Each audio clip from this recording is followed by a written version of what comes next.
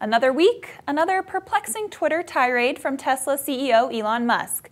In a series of tweets into the evening hours Wednesday, Musk proposed the creation of a website he would call Pravda, a media credibility ranking site that would allow the public to score journalists for their truthfulness. Musk then crusaded for the democratic need of a free and fair press, but also criticized modern day media.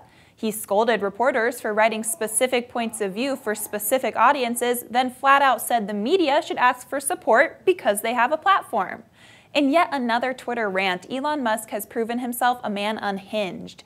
If you think that these tweets won't come back to bite him someday, you're one of the dumbest on Wall Street. Perhaps the biggest issue here is that Elon Musk, 46 years old and worth $18.8 billion, still thinks that anyone who disagrees with him is inherently a liar.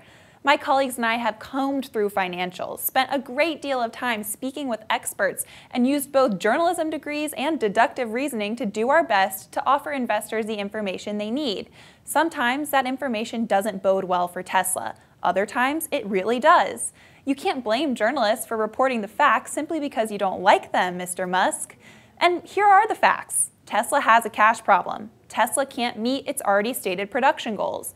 Elon Musk tweets a lot. None of this is false, but it's a near guarantee that Musk's army will come out in droves each time a reporter writes it. Musk said to his child in a now famous Rolling Stone piece that his detractors were jerks who want us to die. Where's the impartiality in that, Musk?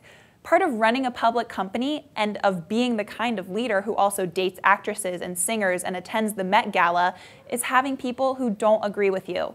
To think otherwise is just plain dumb.